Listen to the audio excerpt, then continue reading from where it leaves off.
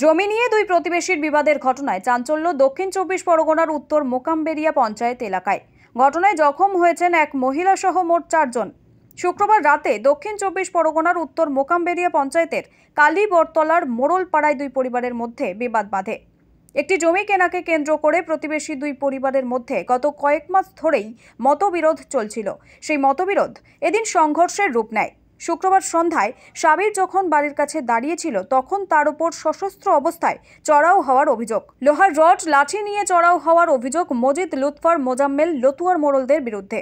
বাধা দিতে গিয়ে আহত হন সাবিরের পরিবারের তিন সদস্য। ঘটনায় আহত হয়েছেন আক্তার মোড়ল সাবির মোড়ল ও আবির নামে তিন ব্যক্তি। এছাড়াও আমিনা মোড়ল নামে এক মহিলাও আহত হয়েছেন বলে জানা গেছে। আহতদেরকে উদ্ধার করে বাসন্তী ব্লক গ্রামীণ হাসপাতালে নিয়ে যান স্থানীয় বাসিন্দারা। সেখানে আক্তার মোড়ল ও সাবির মোড়লদের অবস্থার অবনতি হওয়ায় তাদেরকে ক্যানিং মহাকুমা হাসপাতালে স্থানান্তরিত করা হয়। ছেলেরা কাজ করছে ওদের যে বাড়িওয়ালারা মারছে এসে আমাদের মনে আমি কিছু ছুটে আমার ছেলের মারছে। মারার পরে আমার ছেলেদের মারার পরে আমি ছুটে গিয়ে ছাড়া দিয়ে আমার মেরে পুকুরি পুকুরি ফেলে মারছে। মানে কেন মারছিল কেন?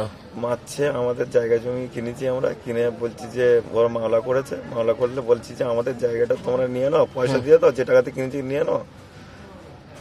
বলছেন না কোর্ট থেকে নেব। তো আমরা বলি কোর্ট থেকে নেবে কোর্ট থেকে নেবে। তো আমাদের জায়গায় আমরা কাজ করছি ওদের জায়গায় ওদের পজিশনে আছে কিন্তু আমার জায়গার উপরে সবসময় এসে খেতে ফেলছে কাঠ ফেলছে। কতদিন চলছে গন্ডগোল? গন্ডগোলটা চলছে মাস চারিক আট মাস চলছে। এই ঘটনায় অভিযুক্তদের বিরুদ্ধে বাসন্তী থানায় লিখিত অভিযোগ দায়ের করা হয়েছে। ঘটনার তদন্ত শুরু করেছে পুলিশ। দক্ষিণ চব্বিশ পরগনা থেকে বাবলু প্রামাণিকের রিপোর্ট ওঙ্কার বাংলা।